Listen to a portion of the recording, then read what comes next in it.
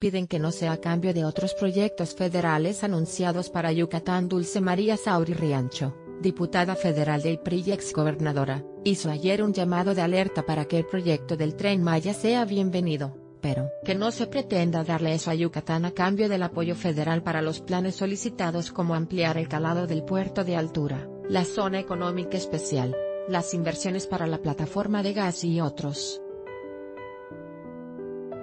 Según dijo, el proyecto de presupuesto de la Federación para 2019 es la biografía de intenciones del nuevo gobierno, en el cual los diputados federales del PRI, PAN, PVM, y espera que hasta el de Morena, que representan a Yucatán, buscarán recursos para el Estado.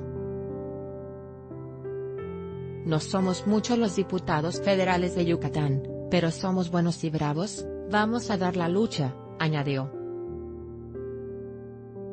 La exgobernadora ofreció ayer un desayuno a los medios en el restaurante Manjar Blanco, donde abordó diversos temas, en su mayoría nacionales de la Cámara de Diputados y otros relacionados con Yucatán. Por ejemplo, recordó que en la última visita del presidente electo Andrés Manuel López Obrador a Yucatán, los legisladores federales de todos los partidos le entregaron una carta con la relación de las principales obras, programas y proyectos que consideran que es importante que apoye la Federación para el desarrollo de la entidad.